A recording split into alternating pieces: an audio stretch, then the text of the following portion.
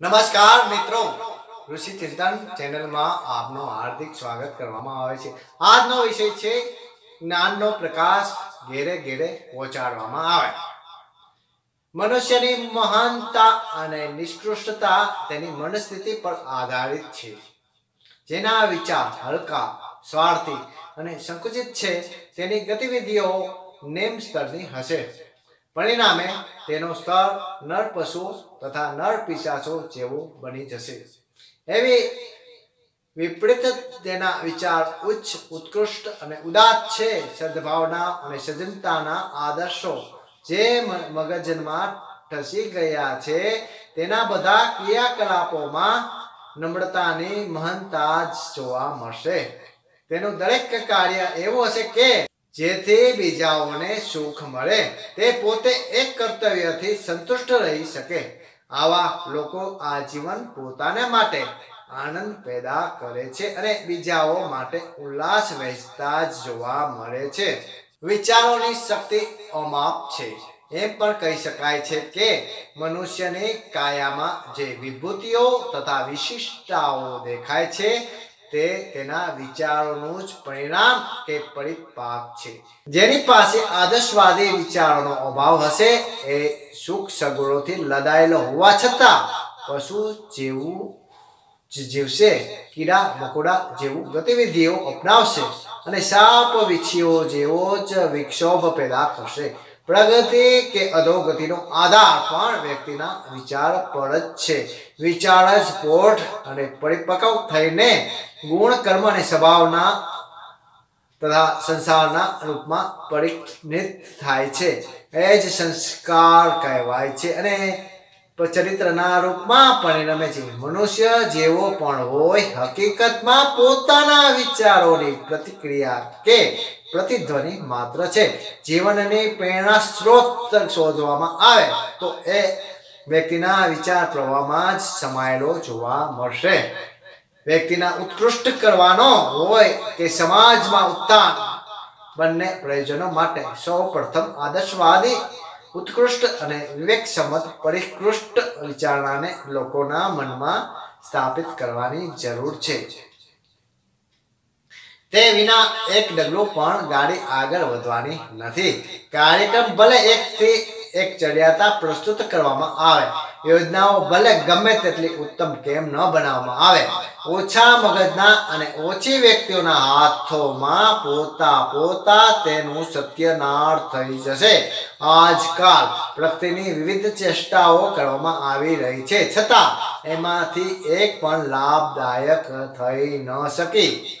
કારણ સ્પષ્ટ છે કે ઓછા વિચારો ધરાવતા વ્યક્તિ બહુ પોતાની રીતે જ અને એવું જ કરશે. પરિણામે વ્યક્તિમાંથી તેલ કાઢવાની જેમ પરિણામ શૂન્ય જ હાથમાં આવશે. અવિવેકી અને તુચ્છ આધાર પર વિચારતા મનુષ્ય સંસારમાં ક્યારેય કોઈ મહત્વપૂર્ણ કાર્ય કરી શકવામાં સમર્થ થતા નથી. તેથી જરૂરિયાત એ વાતની છે કે પોતાના દુર્બળ રાષ્ટ્રને સમર્થ અને સુસંપન્ન બનાવવા માટે સામાન્ય લોકોની મનોભૂમિ, વિવેકશીલતા અને આદર્શવાદીની ખેતી કરવામાં આવે.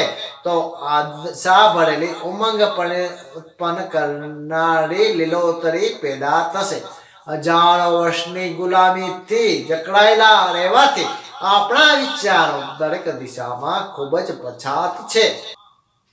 સભ્ય દેશોમાં સર્વત્ર જોવા મળતી નાગરિક કર્તવ્ય નિષ્ઠાથી પણ આપણે ત્યાં હજી શરૂઆત થઈ નથી. લુદ્ધિઓ અને અંધવિશ્વાસોને કારણે જે પાળાવાર નુકસાન ભોગવવી પડી રહ્યું છે, તે તરફ કોઈનું પણ ધ્યાન રહ્યું નથી. વ્યક્તિગત સદગુણો કઈ રીતે, કોને? મનુષ્ય સુખી, સમૃદ્ધ સમર્થ બનાવે છે, તેની ચર્ચા પણ સાંભળવા મળતી નથી. સામાજિક તથા સામૂહિકતાના પ્રત્યે નિષ્ઠા ઉત્પન્ન કર્યા વિના કોઈ રાષ્ટ્ર બળવાન બની શકતું નથી. એ તથ્યને આપણામાંથી કેટલા લોકો અનુભવે છે? વિચારોનો આ પછાતપણું જ આપણી અધોગતિ માટે જવાબદાર છે. એને જ આપણને હજારો વર્ષ સુધી ગુલામી રાખ્યા અને એ અવરોધે જ સ્વતંત્રતા પ્રાપ્ત પછી આ આટલો લાંબો સમય વીતવા છતાં આપણે પ્રગતિમાં ડગલે ને પગલે અવરોધ પેદા કર્યો છે. આપણે વાસ્તવિકતા સમજવી જોઈએ અને લોકોના માનસમાં વિવેકશીલતા તથા ઉત્કૃષ્ટ આદર્શવાદના બીજારોપણ કરવા માટે પ્રબળ પ્રયત્ન કરવાની જરૂરિયાતનો અનુભવ કરવો જોઈએ. રાજનૈતિક ક્રાંતિ બાદ આજે સૌથી મોટી અને સૌથી પહેલી જરૂરિયાત વિચાર ક્રાંતિની છે. તે વિના પ્રગતિના બધા જ પ્રયત્નો દીવા સપના માત્ર બની રહી જશે. એ પ્રયોજનની પૂર્તિ માટે યુગ નિર્માણ યોજના એ એક અતિ સુવ્યવસ્થિત કાર્ય પદ્ધતિ અપનાવીને જ્ઞાન યજ્ઞ નામનું વિચાર ક્રાંતિનું અભિનવ આંદોલન શરૂ કર્યું છે. એ આજના સમયની સૌથી મહત્વપૂર્ણ જરૂરિયાત હતી, જેને પૂરી કરવા માટે પહેલેથી જ સુસંગઠિત અભિયાન ચાલે છે અને થોડા સમયમાં જ ધાર્યા કરતા વધુ સફળતા પ્રાપ્ત કરી છે. વ્યક્તિગત સમસ્યાઓમાંથી લગભગ દરેક પણ પ્રકાશ પાડતો અને સામાજિક તથા રાજનૈતિક સમસ્યાનું દૂરદર્શિતાપણું સમાધાન આપતો પ્રભાવશાળી અને સાર્થક સાહિત્ય આ પ્રયાસો અંતર્ગત લખવામાં આવ્યું છે. તેનાથી લાખો નહીં, કરોડો વ્યક્તિઓના ઉત્કૃષ્ટ થયો છે અને પાઠકોના વિચારો તેમજ કાર્ય પદ્ધતિમાં ક્રાંતિકારી પરિવર્તન પ્રસ્તુત કરવામાં આવ્યું છે. સંગઠનના બે માસિકો, અખંડ જ્યોતિ અને યુગ શક્તિ ગાયત્રી, જાદુ જેવી કાર્ય કરી રહ્યા છે અને લાગે છે કે આપણા આ પ્રયાસ લોક માણસના નવનિર્માણની જરૂરિયાતને આશ્ચર્યજનક રીતે પૂર્ણ કરવામાં સમર્થ થશે. જ્ઞાન યજ્ઞની આ પુણ્ય પ્રક્રિયાના વ્યાપક બનાવવામાં દરેક બુદ્ધિશાળી દેશ ભક્તનો પૂરેપૂરો સહયોગ મળે. એની આવશ્યકતા છે. આ પ્રેરણા પ્રવાહને લોકો સુધી પહોંચાડવા માટે જરૂરી છે કે પચાસ પૈસા અને એક કલાકનો સમય દરરોજ આપવાની ઉદારતા વર્તવામાં આવે. માસિક તથા સાહિત્યને પોતાના ઘર પાડો સંબંધ અને સંપર્ક ક્ષેત્રમાં વાંચવા, સાંભળવામાં, અભિયાન ચલાવવા માટે દરરોજ એક કલાકનો સમય ખર્ચ કરી શકાય. આ સાહિત્ય અશિક્ષિતોને સાંભળવા અને ભણેલાઓને વચાવવામાં જે નિમિત્તપણે એક કલાક આપવામાં આવે, તો એટલા માત્રથી એક વર્ષમાં એક વ્યક્તિ સો કરતા વધુ લોકોને આ વિચારધારાથી પરિચિત થતા પ્રભાવિત કરી શકે છે.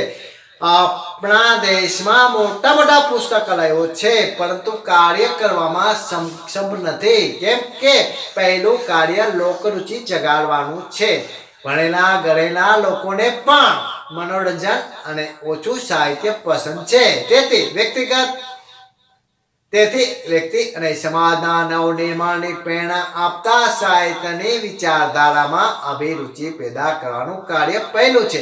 લોકોનો સંપર્ક સાધીને તેમને વ્યક્તિગત રૂપે પ્રેરિત તથા પ્રભાવિત કરવાથી અને યુગ નિર્માણ યોજનાના અંતર્ગત પ્રસ્તુત સુવ્યવસ્થિત વિચારધારા તેમના સુધી પહોંચાડવાથી જ એ પ્રયોજન પૂરું થઈ શકે છે.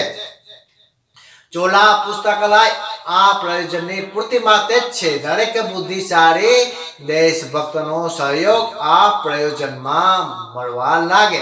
તો વ્યક્તિ અને સમાજ સંપર્કમાં મોટા ભાગના જરૂરિયાતો આપણે સહજતાથી પૂરી કરી શકીએ છીએ અને ધરતી પર સ્વર્ગના ઉતરવના સ્વપ્નને સાકાર થતું જોઈ શકીએ છીએ. આત્મીય વાચકો અને પરિવારના સભ્યોને અનુરોધ છે કે તેઓ શ્રી રામ ઠેલા પુસ્તકાલયનો બાર સભ્યો માટે ટપાલ ખર્ચ સહિત કુલ એકસો ત્રીસ રૂપિયા બેંક ડ્રાફ્ટ અથવા મન્યુડ દ્વારા યુગ નિર્માણ યોજના શાખા અમદાવાદ, ગાયત્રી જ્ઞાન પેટ, પાટીદાર સોસાયટી, જૂના વાડત અમદાવાદ.